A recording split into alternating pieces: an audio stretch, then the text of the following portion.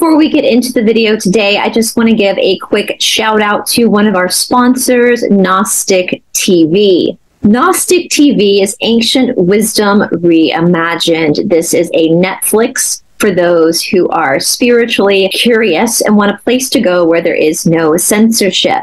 I personally am doing a whole series on Gnostic TV called The Esoteric Explorer, where I am providing exclusive content to Gnostic.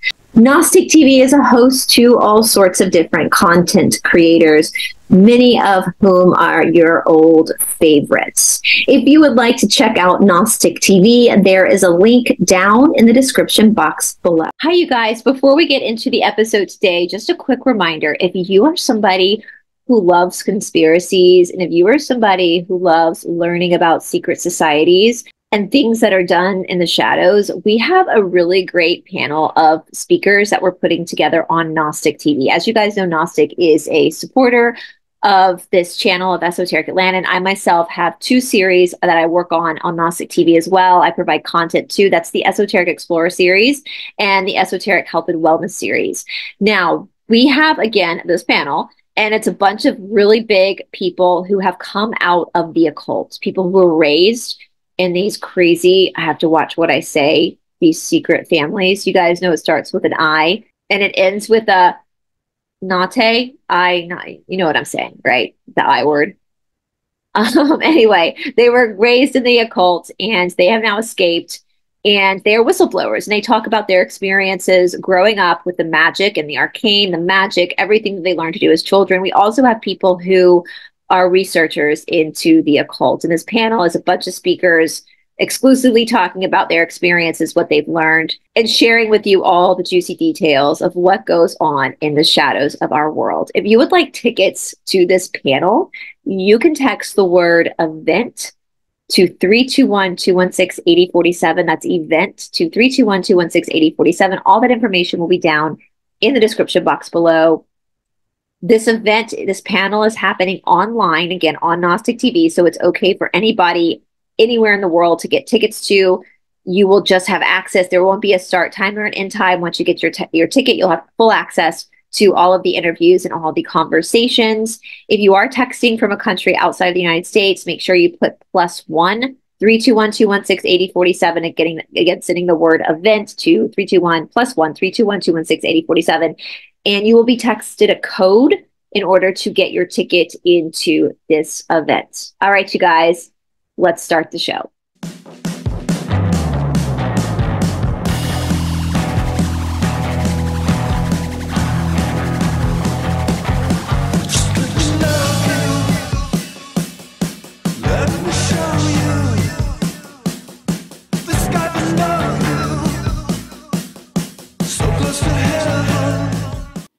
Hey, you guys, editing Brice here. Just a quick note before we get into the show. The pirate that we are talking about today is a man named Jean Lafitte. Now, in this episode, you're going to notice that I interchange Lafitte with Lafayette. And that is just a mistake on my part because I am also working on another person, the Marquis de Lafayette, for next week. And so that's just a tongue slip. But please know in advance that his name is Lafitte, not Lafayette, Jean Lafitte. Anyway, guys, enjoy the show.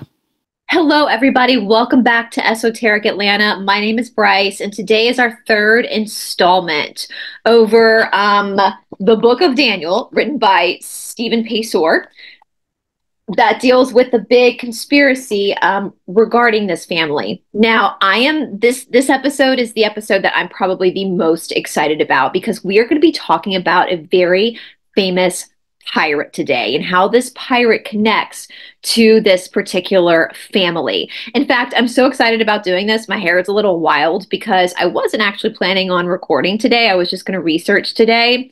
So I didn't really do my hair. And then I was just so excited to talk to you guys about this that I decided to just go ahead and film, throw some makeup on and film anyway. So please excuse my hair. It's kind of a mess. But nonetheless, if you are new to this channel, I know that this controversy, this conspiracy regarding the Paysor family is a huge topic. And I know so many people have so many different opinions about this particular family. Again, the one thing I ask is that you please be respectful to each other in the comment section. None of us know the full truth, right? We can recognize patterns but we don't know the full truth. And so we always need to remember to take everything with a grain of salt and to remember to treat people with the respect that we expect to be treated with as well. Just because somebody descends from a royal family member does not necessarily mean that they themselves are involved in any type of shenanigans. Just because a family is wealthy and owns a bunch of businesses does not necessarily mean that they are involved in shenanigans, okay? So so I just want to put that out there just because they're a particular bloodline means nothing either. Remember, every single human being has free will and free choice. So please be respectful to everybody in the comment section. Please don't judge people solely on their last name. Judge people by their actions that they themselves take. Because again, we all have free will choice. And we all have people in our family line, judge not least you be judged. We all have people in our family nine, line that we are probably not very proud of. All right. So if you don't want to be held accountable for shenanigans and nastiness that one of your answers, ancestors got involved in, then don't then hold other people accountable for things their family's been involved in, if that makes sense. I know most of you guys know what I'm saying. I also um, remember again that these are all opinions, even your theories are opinions. So please try not to state things as facts, you know, because we don't have all the information. We're, we're all, we're, this is all just one big speculation. That's it. Now, again, I will give a quick recap because we are going to be talking about Jean Lafitte, who is a huge pirate. Um, from the southeastern United States. And we're going to talk a little bit about, before we get into Stephen's book and his research, I am going to give a little bit of a backstory on pirates and the southeast. Because with Jean Lafitte, there is speculation that this man, this pirate, did fake his death. And for me, I'm always very skeptical about people saying people have, yeah, I'm very skeptical about that. But with Jean Lafitte, I do believe that this man actually did fake his death, but we're going to get it. Let's recap first and then we'll get into it. So, if, if you're new here, I'm going to be placing our prior two episodes down in the description box below. Um, or I can just recap it quickly for you. Totally up to you, up to you. You don't need to necessarily go back and listen to those episodes first. You can start here if you want. Absolutely up to you. So basically, what we have with this uh, P family, we're going to be. I'm going to be careful. I'll say the name a few times, but we know that that name is very. Con- it's very. It's a trigger word for the algorithm. So I'm going to be very careful about dropping that name too many times. But we have this particular family. They're from North Carolina, and the legend is the conspiracy is that this family is one of the puppet masters that are pulling the strings in all of our world affairs in the establishment. And so, even though the, the Paysor name is not a big name that a lot of people know, the origins of this family having this much power, allegedly, again, according to the conspiracy, do come from a royal family. And that family is the House of Bourbon. So, this is the royal family that was on the throne when the French Revolution happened. So, basically, when the French Revolution happened, Marie Antoinette, who was the queen at the time, she was a Habsburg, her husband, Louis XVI, who was the king of France, and their two surviving children, Maria Theresa and um, Louis Charles, were taken into uh, custody. We know that Marie Antoinette and Louis XVI lost their lives. They were guillotined by the people. Again, I've said it before, I'll say it again. No one throws a revolution like the French people.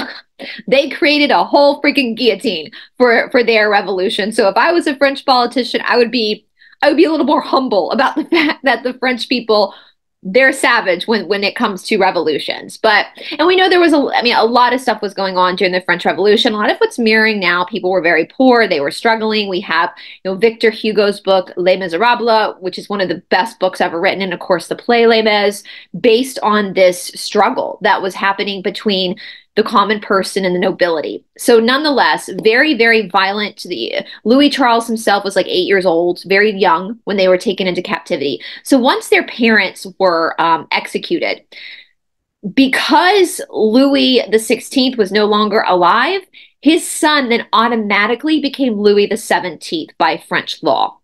Now, the problem is that the French Revolution was happening, so the people did not want a monarchy, which I agree with that. There should not be a monarchy. I absolutely agree with that. I don't know if I would go about it the way that they went about it, but there should not be a, no human being is is better than another human being. No no human being has more value because of a bloodline to to another human being. That's just that's just bullshit, right?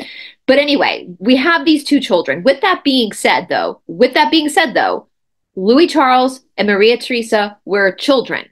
They were children, and in my opinion, children are innocent. Doesn't matter. They're innocent. They're children. They need to be taken care of. They need to be sported. They need to be loved. They need to be healed. It doesn't matter if they're nobility or if they're the peasant's kid on the street. They're children. They're innocent. And I will tip my hat to the French people for that because they did not they did not unalive the children. And I can totally respect that because I think they at that point even though they were being very savage with these politicians and these monarchy and the, the, the this establishment they kind of pulled back with the children. So what they did is according to history the mainstream narrative is that they sent Maria Theresa into exile, the daughter, because France went by a law, most monarchies did, not all of them, but where it passed through the men. So Maria Theresa was not much of a threat. Unless she grew up and had a son herself, she wasn't an immediate threat because she was the daughter, she was the princess. We have Louis Charles, who now is automatically Louis the 17th because his father is unalived. He is being held in prison.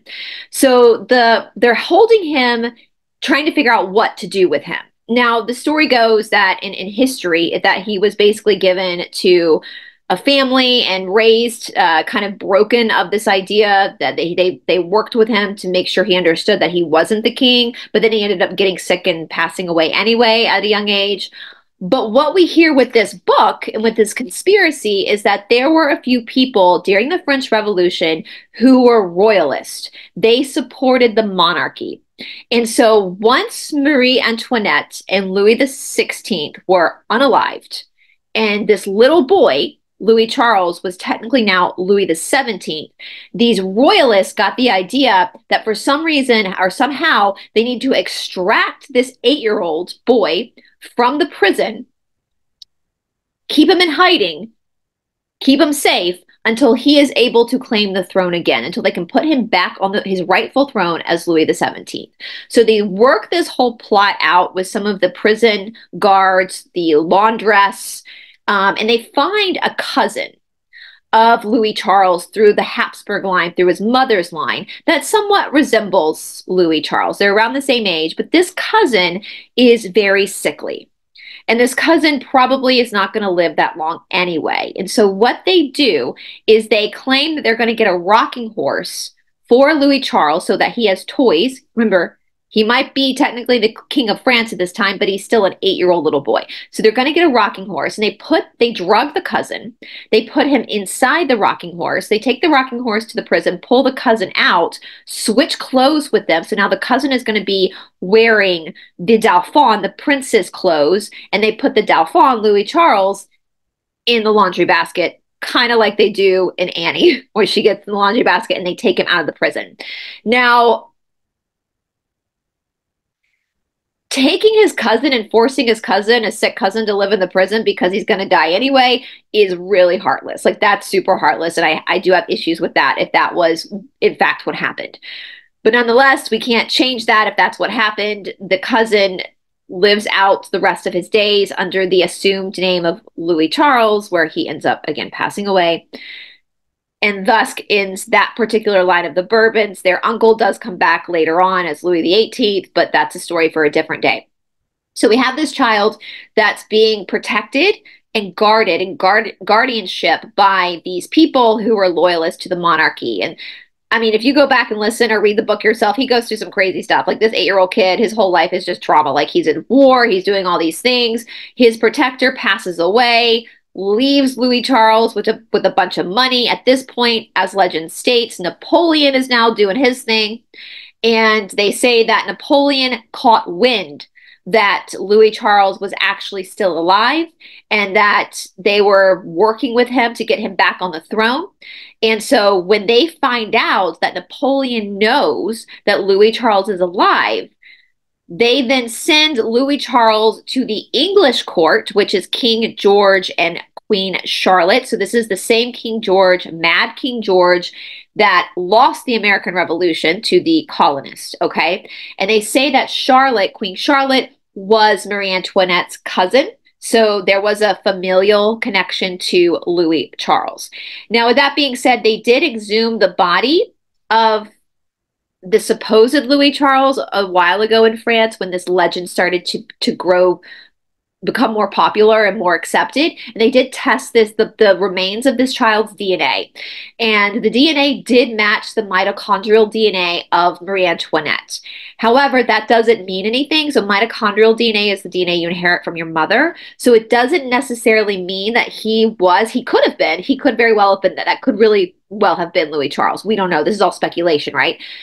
By having matching mitochondrial DNA. However, it could also mean that this little boy was a cousin to Marie Antoinette and just inherited the same DNA through Marie Antoinette's sister or cousin or another female coming from the Habsburg line, if that makes sense. So, like, it didn't really get him anywhere, right? This DNA test did not disprove or prove. All we know is that the, as at the body that was buried under the name Louis Charles is related to Marie Antoinette. That's all we know. We don't know, again, if it's a son or if it's a cousin, a nephew. We have no idea. Okay. So we're back at square one with that. But nonetheless, Louis Charles ends up in the court of England. Now, at this time, all monarchies are basically shitting their pants, okay? Because the English monarchy just lost the American Revolution. The French people just guillotined their rulers. So having this boy even though he's family in your court, is dangerous. All right. So, what they do, what they work out, is they send Louis Charles with a man named George Paysor. Now, this George dude, he was almost like the way it's described is the weight master, which basically means he weighed the gold. So he was the accountant. Like he was the accountant. That's how I take it when I read the description of his job. He's the accountant for he was for the royal family in France and then he was up in England as well. And so he has close ties to the royal family. And so King George and Queen Charlotte of of, of UK decide that they're going to send Louis Charles because Napoleon is after Louis Charles. They're going to send him to America to the new founded United States under the name Daniel Paysor. He's going to be George's son. All right. That's now Louis Charles doesn't exist anymore. He is now Daniel. All right. Now, with that being said, the United States, the newly formed America, is not under British um, guardianship anymore. It's a different country. And so, what they do, and I found this hysterical.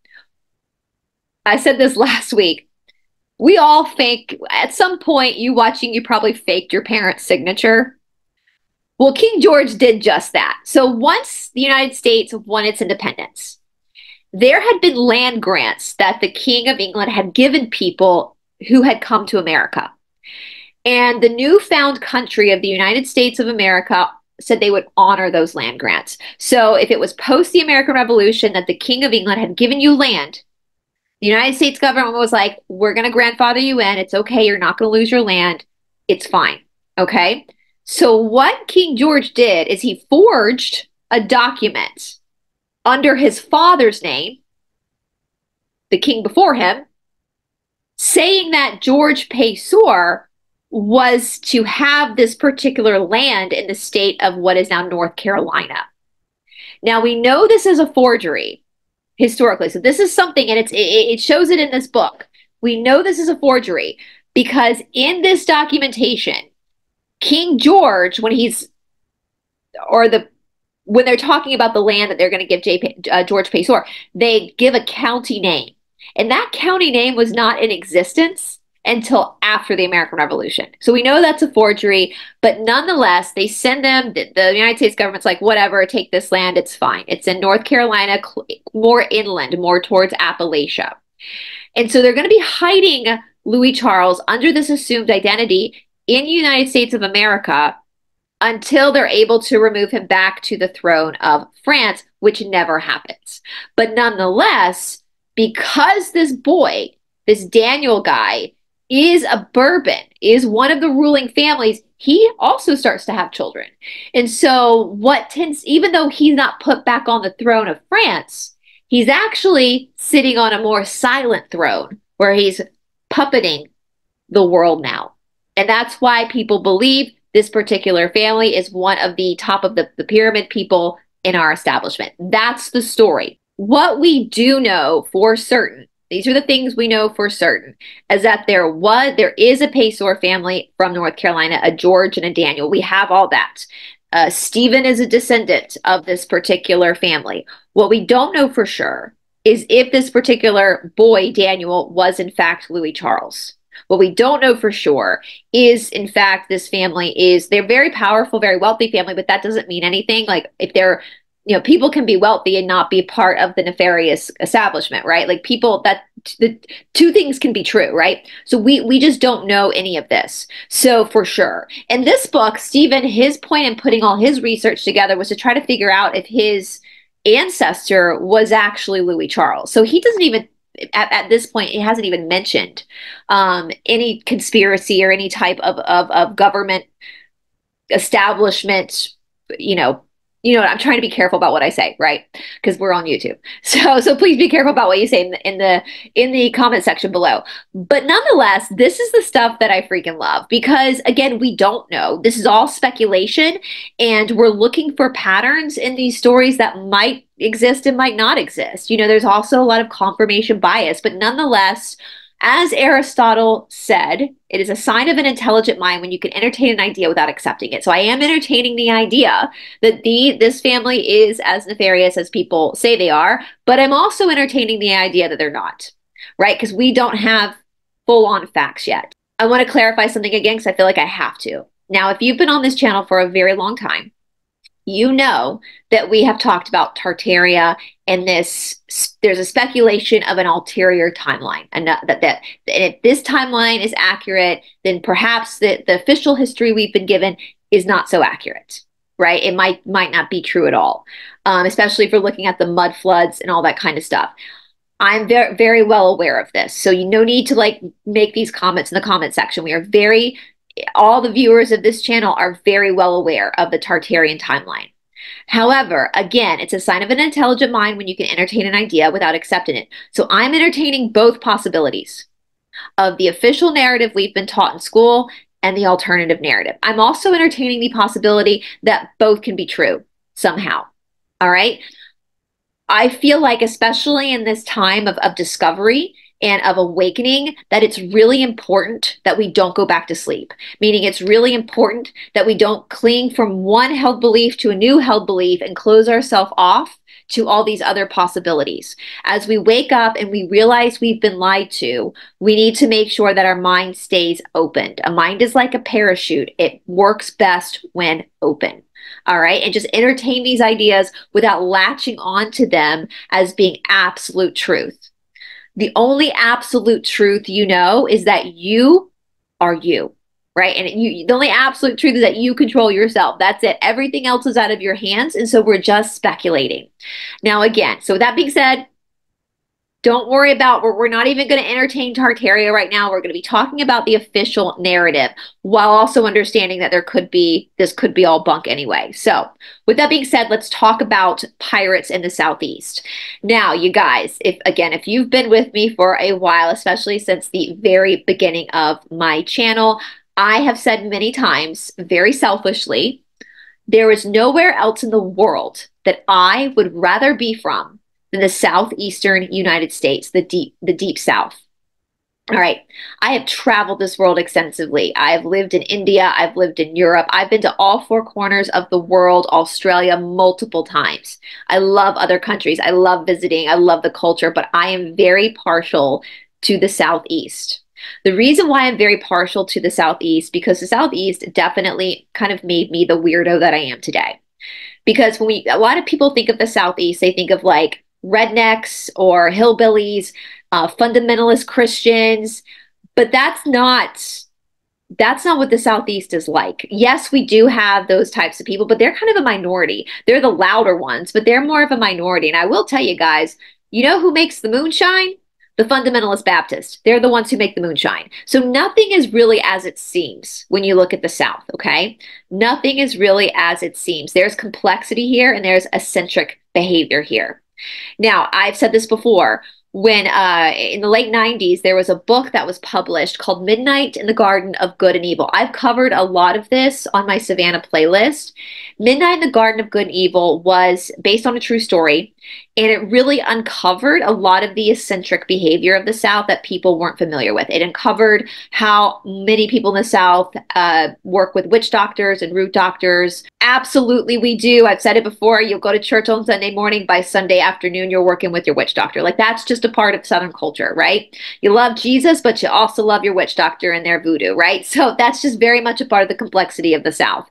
Okay, and there's another part in the book. So it's all based on a true story where in the beginning this reporter's in, from new york like covering this case this this this murder case and he, he's talking about these these characters he's meeting in savannah and there's one dog that get or one guy that gets up every morning and walks his ghost dog and I've laughed about this before because when they made the movie, they made a movie with Kevin Spacey. Um, lots of big names are in that movie. My, my, my mind's gone blank right now.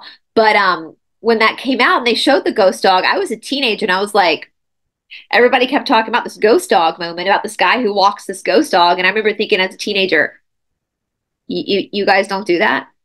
That's not that's not normal? Like you guys what? Like in your connecticut town or massachusetts town you don't walk ghost dogs? Like i thought everybody walked their ghost dog. Because that's normal. Like down here in the south that's nothing to gawk out. That is normal that people walk their ghost dogs down here in the south. Like that's just normal. People talk to the ghost in their house. Everywhere's haunted. I most of my friends I grew up in a haunted house. Most of my friends grew up in a haunted house the ghost in my house was a little bit more malicious, but I had friends who had very friendly ghosts. And you go play at their house, and the mom, you know, your friend's mom would be like talking to the ghost, like, calm, calm down, be a little quiet. You're, you know, it's part of the family. The ghost is just part of the family. It's like Casper, right? So this is part of the eccentricity of the South too. We are also looking at the story of pirates, and pi- I don't know if many people know this, but pirates have a huge, they're a huge part of our culture here in the southern United States. Huge part. I covered the one of the Blackbeard stories last week, but in, I'm going to actually pull a map up of the southeastern United States so you guys can see this, especially if you're from another country and this is new information for you. Okay, let me move this down a little bit. All right. So here's the southeastern part of the United States right here. So I live right here in Atlanta, Georgia. I hope you can see my mouse icon. So when we're looking at the, the 1700s and the 1800s, what we have here on the Atlantic coast, we're going to go from North Carolina. So this is all considered the deep south. So North Carolina, where our story, a lot of our story takes place, all the way down the coast to the south of Georgia. We're going to exclude Florida for a moment because during this time, Florida was not part of the United States, although St. Augustine, which is right here, St. Augustine, is one of the oldest cities in our country as well. So that's very important. American, it's a port, and when Florida got added, it's it's a beautiful city if you're ever in Florida. So when we look at the this coastline here in the, in the deep south, all of this coastline, I know you can't tell from this map, but there are tons of islands off the coast here. Tons of islands, barrier islands, right? So what we have, it's very boggy. This area is called the low country because it drops. Actually, the low country cuts off at about the border of South Carolina and North Carolina. And literally, like if I'm going to drive from Atlanta to Charleston, so Charleston right here is where my mother's family is from, right there. So I go to Charleston a lot. So if I'm going to drive from Atlanta, you will actually feel around here, you'll you're you drop. Like you feel it drop. We know New Orleans down here which was another huge port, which we're going to talk about today with Jean Lafitte, uh, is below sea level. Okay. Now, at the point of our story that we're talking about, Louisiana, which is right where New Orleans is, in like 1805 or something like that, you guys can correct my date, 1803, 18, uh, beginning of the 1800s, Napoleon, so the guy who was hunting for Louis Charles, sells the Louisiana to the United States government. So the United States government has just won its freedom. And we're going to talk a little bit about this too, because we're going to get a little bit into the War of 1812, which was kind of the second American Revolution. So Napoleon sells Louisiana to the United States. Now, Louisiana was not, so this is what the state looks like today, this little boot. But at this time, Louisiana was a territory. So it it, it, went all the way up to Canada. It was a huge territory. Now it's been divided into other states. So that was called the Louisiana Purchase. So directly following the American Revolution, Louisiana, whoops. Oh, oh, oh, maybe that's better. Maybe that's better. Maybe that was spirit guiding me to make it better. All right. Hopefully that's better. So, um, Louisiana was uh, now right after the American Revo- Revolution, it was annexed on to the American colony, the new country. It's still a part of the Deep South. Louisiana is very much still a part of the Deep South. Now, we spoke about this before. So we have these ports. So we have uh, New Orleans, Mobile, Alabama, which is right here. Then we have Charleston, we have Savannah. We have these big ports all over the southeast where people, and we're not just talking about when I when I'm talking about the ports, I'm not just talking about exporting of goods and importing of goods. I'm talking about immigrants coming into the country from Europe, more specifically. Also, the slave trade was coming into these ports. Um, again, my I have one. I've talked about my grandmother's family, the Bennetts or the Benets. They were French. They lived in South Georgia, my grandmother, but they actually came up from New Orleans. They they were a French family that the Benets that came up from New Orleans and then traveled into Georgia because they were Huguenots, they were French Protestants, and so they were they were seeking to get into more English territory um, because they were Huguenots and the English territory was more Protestant. The South, Mississippi, Alabama, Georgia, South Carolina, North Carolina. This is Tennessee. This is mostly Protestants. You very rarely will see a Catholic church. Louisiana, though, however, very Catholic. All right, so we can kind of see how these different personalities are playing out in the new the new world. All right. So when it comes to like the early 1800s, or actually let's back up a little bit because Jean Lafitte, um, he was kind of a late pirate. So before the American Revolution, we had so many pirates. I mean, there were, I mean, that's the eccentric eccentricity of the South, right? Like, listen, okay, before the American Revolution, Georgia itself was a penal colony.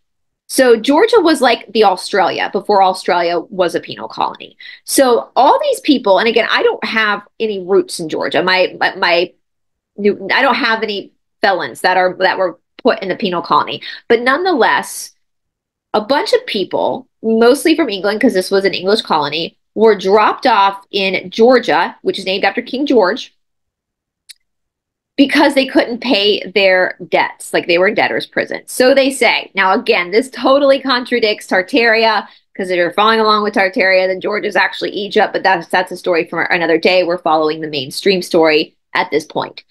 So you have all these people who are brought to Georgia as a penal colony because they cannot pay their debtor's prison in the UK. Now, South Carolina, North Carolina, these are all actual settlers, like people who chose to come here. Now, what's very fascinating again about the Southeast, and you guys know this is no no no secret. Yeah, I talk about it. So many people talk about it. The Deep South is incredibly hot. And we're not talking hot, hot. We're talking hot, hot, hot, humid, hot. Um, there's a great funny meme going around where people asking a question like, "What's what's Atlanta like this time of year? What's Florida like this time of year?" And the response is, "Have you ever been cremated?" It's humid, it's muggy, it still is in 2024. And um, I put on my Instagram this English girl talking about how English heat waves are the worst than any other heat wave. And meanwhile, she has super thick hair that's down and she's wearing a, a shirt to her neck. And anybody who lives in a hot area of the world knows if I step outside, I got to pull my hair up and I can't wear anything on my neck because it's too hot. It's too. So if you're able to wear your hair, hair down outside, you have thick hair, you're not in a hot, you're not in a hot climate. Okay. And no, honey, England, apparently the heat wave England is in right now. Another English person posted this, um, laughing at his own people because apparently the temperature of the heat wave that England went through is actually how we where the, the temperature we set our thermostats here in America for comfort. So with that being said, but with that being said, so keeping that in mind, England's way north, it's far away from the equator. A lot of these people that were immigrating to this area were from Northern Europe or England and they're coming into an area that's extremely difficult to live in, right? We've got malaria, like hardcore malaria at this time. We have yellow fever, which is another um, kind of malaria esque. It comes from mosquitoes as well. We still have horrible mosquitoes down here. Um, we have we're dealing with alligators everywhere. I mean, this is all swampland on the coast, as well as in New Orleans. You're dealing with alligators. You're dealing with um, poisonous snakes, a lot of snakes. And then you go inland. So if you go inland, to like right here, you're getting into Appalachia. All right. We know we've been talking a lot about Appalachia. So you're dealing with black bears, you're dealing with all sorts of craziness that you're not used to dealing with. And so people, so the the the penal colony of Georgia, they didn't have a choice. They were stuck there. They had to learn how to survive there. But the people who chose to come, like my ancestors who came in through Charleston and actually stayed in Charleston for a very long time, they had to adapt very quickly. Man versus nature, nature always wins. In their petticoats, in the everything, they had to learn how to adapt to the heat and the demands of this area of the world. Um, they had to learn how to live in the bayou, in the swampland. They had to learn uh, how to be tough. So people in the Southeast are tough. They're tough people. You know, there's a funny, uh, there's a couple funny TikToks of a guy. He's in the swamps, and all these people are freaking out because this alligator puts its head up on his boat, and this guy just pops the alligator on its on his snout and says, "Go on now, go on now." Like that's a southerner, right? Or have you guys seen that TikTok of that little southern girl? They're up in the mountains and a black bear comes to their porch and she's like, I want to pet that dog. I want to pet that dog. And the parents are like having to grab her because it's a bear, it's not a dog. You know, that's just how we are in the South. It's just, it's, it, you have to survive. So people who are from the South, who have a long lineage in the South, like myself, like a lot of people who are watching right now, you come from really strong people really strong people. The houses, they had to learn how the old pre antebellum houses are built in certain ways to catch the wind. That's why we have really tall ceilings. Like people talk about how high our ceilings are in the South, like really high ceilings in old buildings, and they don't have that up north. The reason why the ceilings are so high is because in the South, we had to stay cool not like they, the north they have a winter we don't have a winter in the south right so so we're looking at this really intense land that people have to navigate. Now we have a few cities. Again, Charleston was a booming city. My family lived in Charleston for hundreds of years. They lived in the city of Charleston for hundreds of years. But most people would come in and open up plantations outside of Charleston and bring the product into Charleston to sell. We also have Savannah. So post the American Revolution, Savannah is a very fun town. Um, Savannah looks like it's on the coast, but it's actually like Tybee Islands right there. You actually go up. Savannah is actually a river town. It goes up the Savannah River. And Savannah, again, I have a Savannah playlist. I'll I'll tag it down below. We can cover some of those stories again if you guys ever want to recap some of the Savannah stories. I love Savannah. Savannah is wild. It's like it's Savannah was like they have the river walk in Savannah and the Riverwalk now is a huge tourist attraction. There's a lot of restaurants, stuff like that. But back in the day, the Riverwalk, which is on the river, obviously, it was brothels for sailors. So this was like a wild, wild west town on the East Coast where there was really no no laws, Savannah, right? It was wild. So, and then of course, over at New Orleans and in Mobile, you have these these ports where cities grew around these ports. So, with that being said, most people lived in the farmland of the South. Most people were on plantations or up in Appalachia. Only a few, there were only a few cities. Atlanta wasn't established for a long time. Atlanta was not always the capital of this state, and it was Elizabethtown for a very long time. It was just a railroad town until it became Atlanta. So, with that being said, we have all these Europeans who have migrated to the Southeast for whatever reason, to the New World for whatever reason, whether it's religious freedom, whether it's to get away from the monarchy just for a new start, to make their live their American dream. You've got these people who are dealing with obstacles and navigating obstacles that are not they're not conditioned for. You know, if your lineage is from Northern Europe, you're not conditioned for the heat of the Southeast. So they're trying to adapt to um, to the conditions in the Southeast to live and thrive and have a thriving life. But we also have pirates we also have the pirates that are coming up and down the islands. And a lot of people who are from the Southeast are descendants of pirates, whether they know it or not. My boyfriend is a descendant of a pirate. He has all the information. His his um, ancestor worked down in the islands. We have all the islands down here um, in the Caribbean, and he would take boats and stuff from the from the English royal the monarchy down here, and eventually he just gave his middle finger to the monarchy, and he became a pirate, and then came up to Florida and met up with another half of his family, and two of their kids got married, and thus the the line continued, but up into this area of Florida. So a lot of us, you might not even know it, but you probably have some pirate in your genealogy. And that was just it, right? You you just dealt with it. You dealt with the pirating. You dealt. This was the wild time in our normal history. Again, excluding Tartaria. So let's let's pick back up now with Jean Lafayette because oh, and again, I just want to remind you guys too before we get into it. So even though Louisiana was French and then Spanish and then French and then Spanish again. And there's a lot of French influence in in Louisiana today. They still have signs in, in French.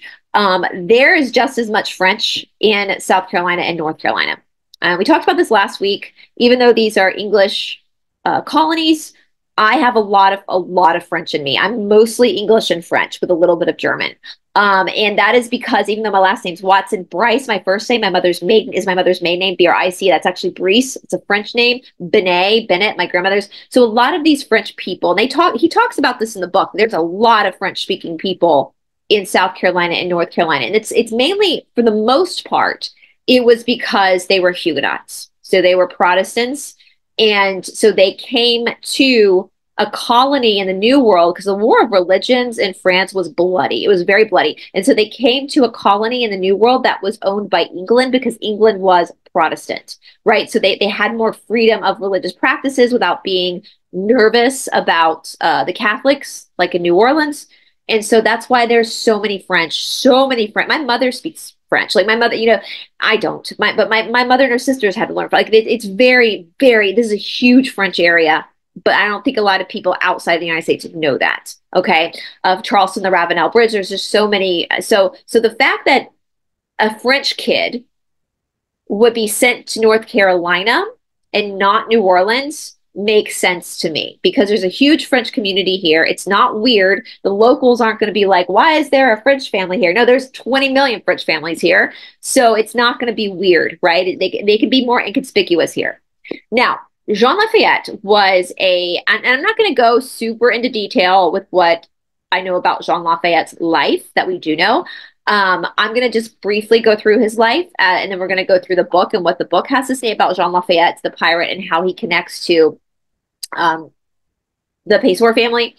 But there is a lot, and the reason why I definitely think that there's some truth to this story with Jean Lafayette, the faking of his death, the moving to North Carolina, is because so many historians have done extensive research into this conspiracy. So we saw last week where the uh, French government sent people to North Carolina from France to do some DNA testing on Peter Stewart Ney. You can watch that um, from last week. We won't get into that too much today. Um, but with Jean Lafayette, we definitely have a lot of speculation that he could have faked his death and then moved to North Carolina. And I'm going to put some links down in the description box, especially if a mother daughter pair that wrote a book on this and spent years researching and traveling all over looking for documentation to try to figure out if the legend in Lincolnton, North Carolina is correct. And that's where Jean Lafayette actually lived the rest of his life under the name Lorenzo Ferrer after he allegedly died as Jean Lafayette. So what it's interesting, Jean Lafayette, like most pirates, um, what we do know, we do know, but there's a lot we don't know. So we don't know where Jean Lafayette was actually born. Some people think he was born in France. Some think he, some people think he was born in Haiti.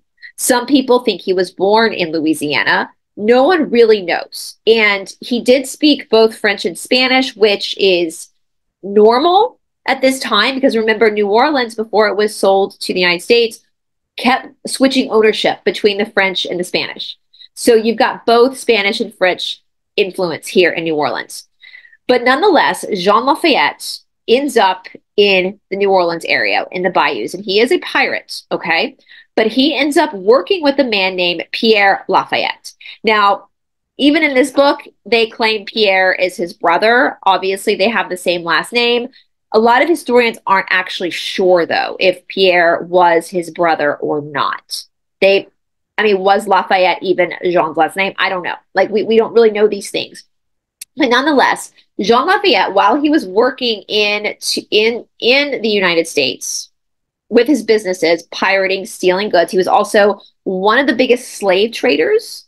Um, so he was definitely into the business of humans um, when he was in New Orleans, and he was one of the 10 mo- most wealthiest men in the United States while he was functioning in New Orleans as a pirate and as a businessman.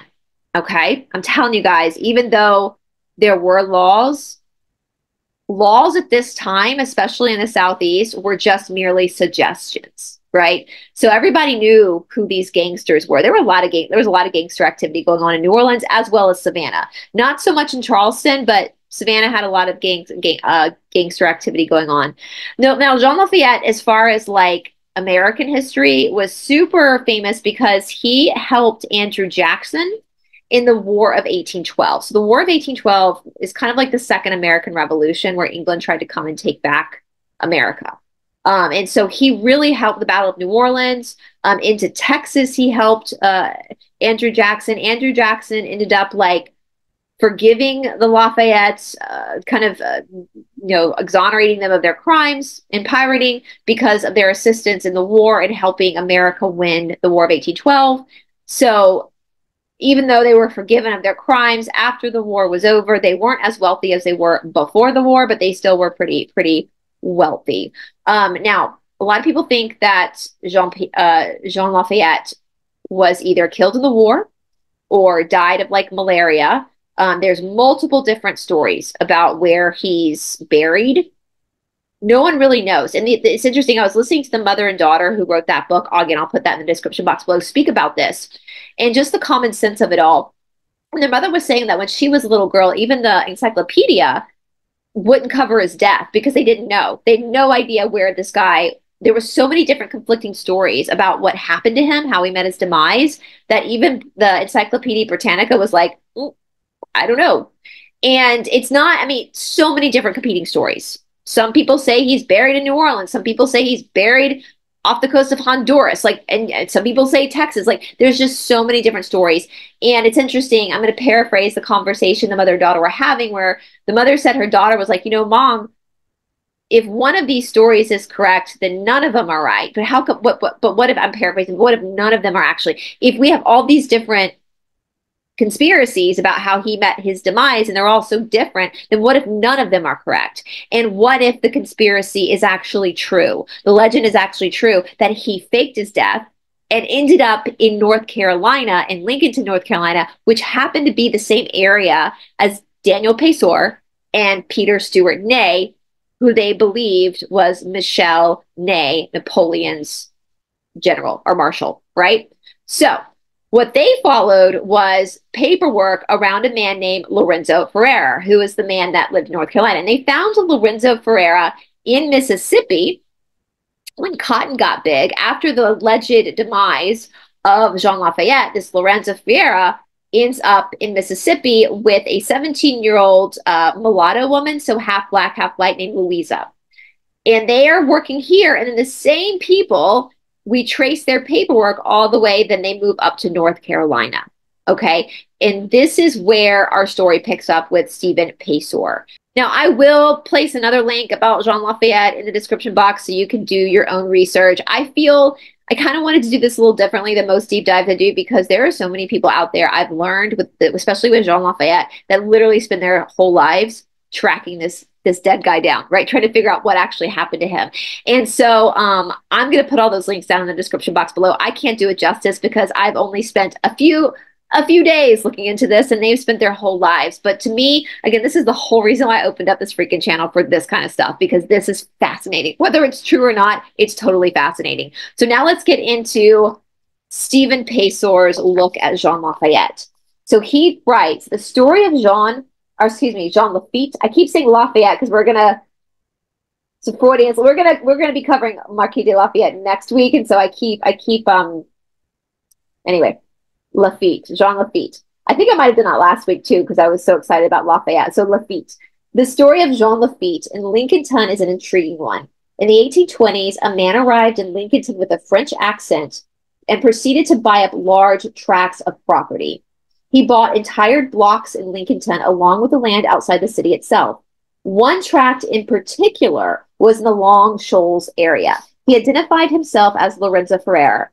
It seems that he paid for everything with gold coins, many of which were minted in foreign countries. So that's very pirate like, right?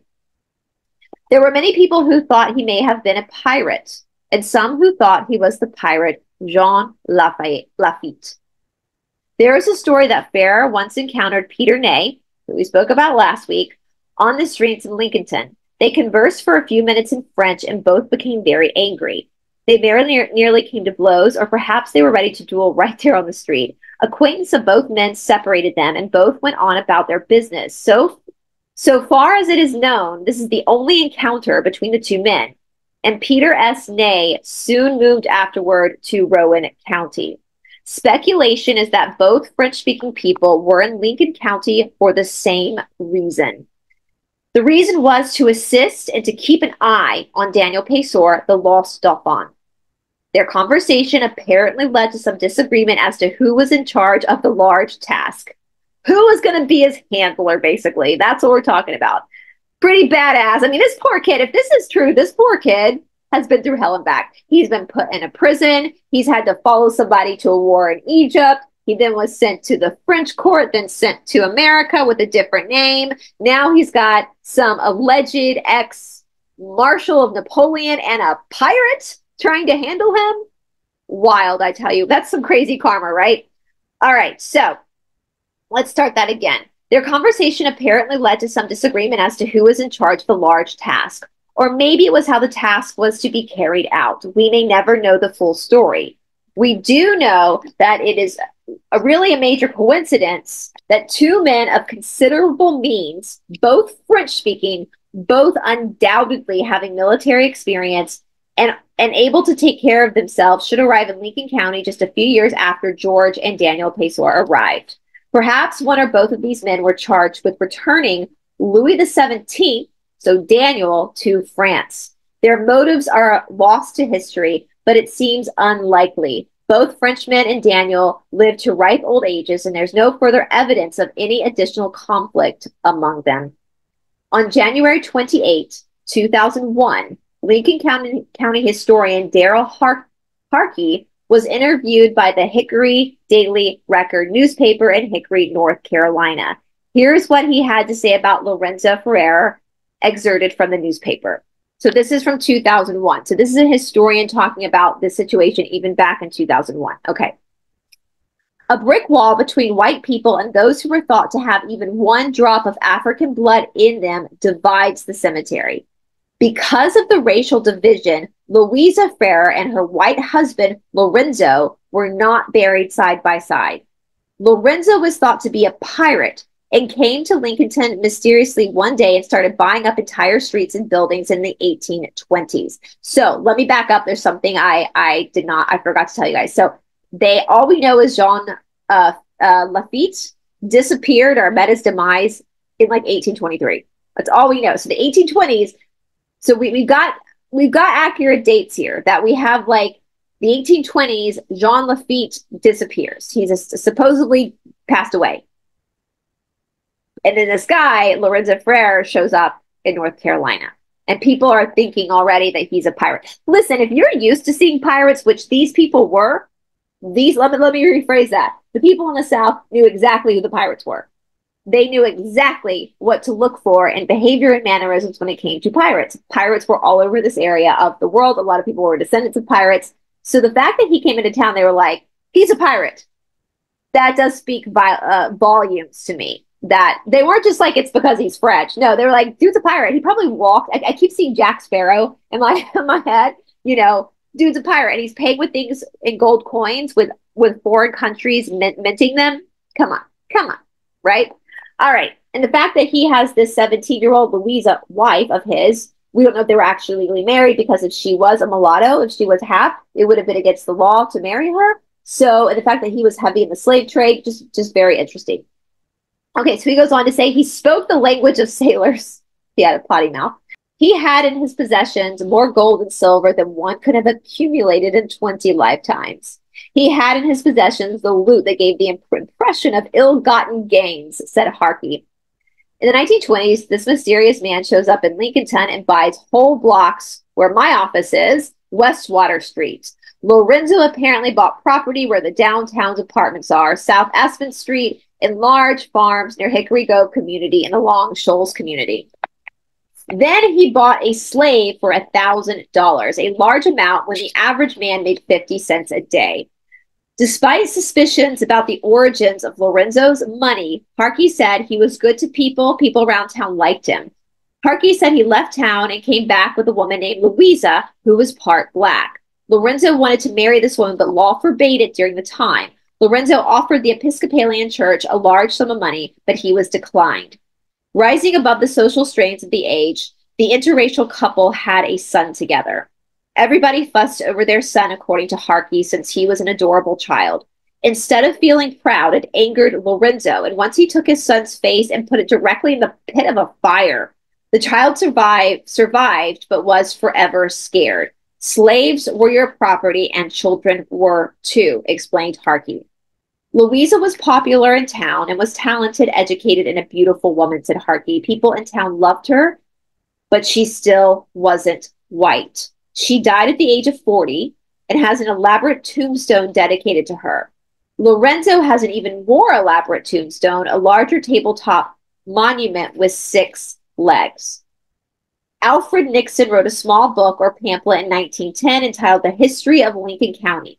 In this book, he had this to say about Lorenzo Ferrer. An old Frenchman in Lincoln County, Lorenzo Ferrer, often bought farm products from Mr. Coon and so admired his perfect integrity and full measure of potatoes. And one of his bequests was, I will and bestow to the honest George Coon $100. That was a lot of money back then. Sorry, guys, there's a lot of typos in this because it's self published. So, Lorenzo Ferrer, having been introduced, shall have a place in this history. He was a native of France, but spent his long life from early manhood in Lincolnton. He died August 6th, 1875, aged 96. He had a coffin made to order and gave directions concerning his grave. Now, the fact that this, in the history of Lincoln County, they're saying that he was from France, that could have been the story that Lorenzo Ferrer gave. And Jean Lafitte if they are the same person, could very well have been born in France. We don't know. That's one thing we don't know. Some people claim France again, some people claim Haiti, some people claim New Orleans. We don't know where John Lafitte was born. And there is a possibility that Lorenzo Ferrer wasn't Jean Lafitte. I think he was. I think there's overwhelming circumstantial evidence that it's safe to speculate he was Jean Lafitte. But when you're creating a new identity for yourself, you're going to have to create a backstory. So the fact that Lorenzo Ferrer claimed to have been born in France doesn't necessarily mean that's where Jean Lafitte was born. All right. It is marked by a recent slab supported on mar- marble columns. The first paragraph of, of his will was in these words I, Lorenzo Ferrer, here write my last will and testament whilst I am possession of my faculties as I have shortly to appear at the tribunal of St. Peter at the gate of eternity, when St. Peter is to pronounce according to my merits or demerits for our Lord Jesus Christ, entrusted the key of heaven to St. Peter and enjoin him to admit that deserving to enter into heaven and enjoy an eternal happiness, but to condemn the understanding defrauders to the everlasting flames in the devil's abode. We don't write like this anymore. kind of makes me sad when I sit down and actually write my will, I think I'm going to make it as as flavorful as Lorenzo or Jean Lafitte wrote his wrote, wrote his will out. And I like that in possession of my faculties. Like next time I go drinking with friends, I'm going to be like, when I lose possession of my faculties, take me home. Because I love this. This is fantastic. Therefore, I am ende- endeavoring to comfort myself in such a manner in order to merit an eternal happiness in the presence of God and his angels and in company with St. Peter, St. Titus, and other saints. For I am anxious to converse with those martyred saints and rejoice with them at the firmness, patientness, and willingness they endured at their martyrdom for the sake of our Lord Jesus Christ. I am also hope to see and embrace my kind and honest friend, Michael Hoke, William Lander, and other good friends and honest friends with whom I have enjoyed an eternal felicity. If some of my friends watching die before me, I'm going to put that in my will.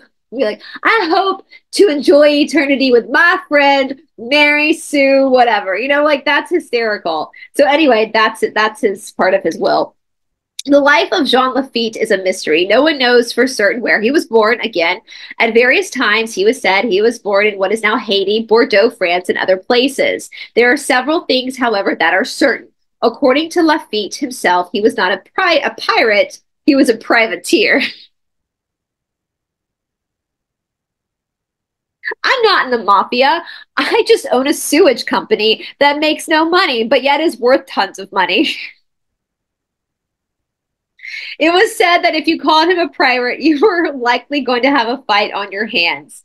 He did aid, aid Andrew Jackson, another Carolina native, in the Battle of New Orleans against the British during the War of 1812.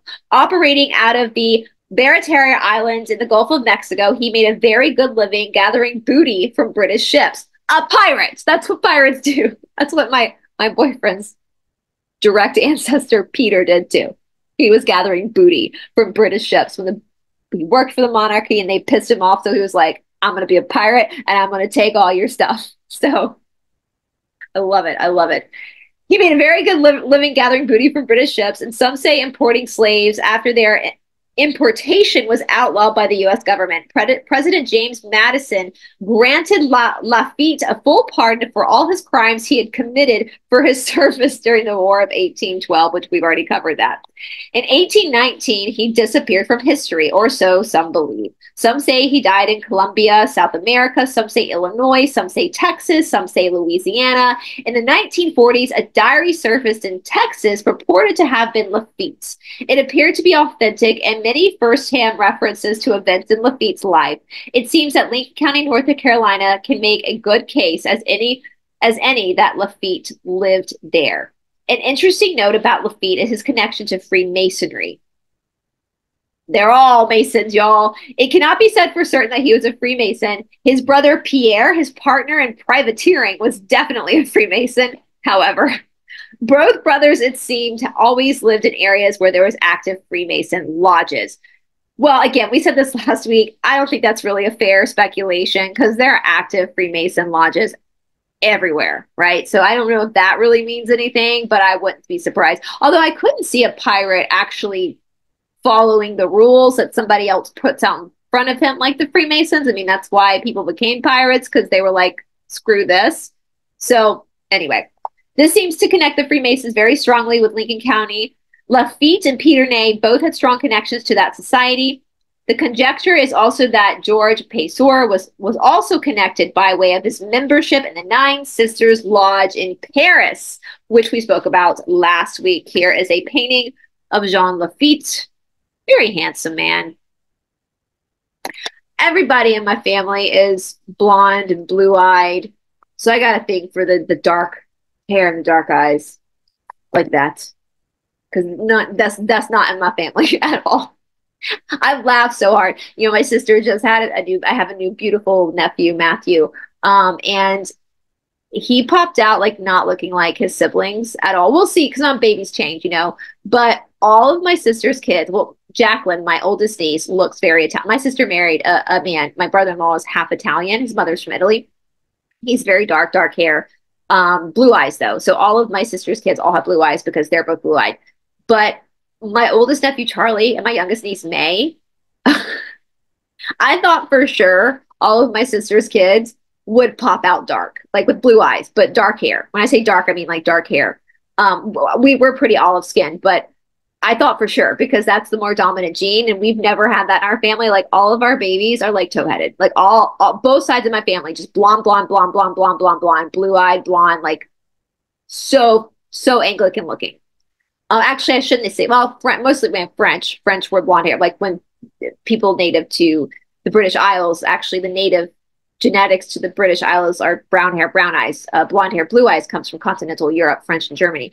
But um, but when my sister married Stephen, I was like, oh my God, we're going to have like babies with like thick black hair. And no, just one.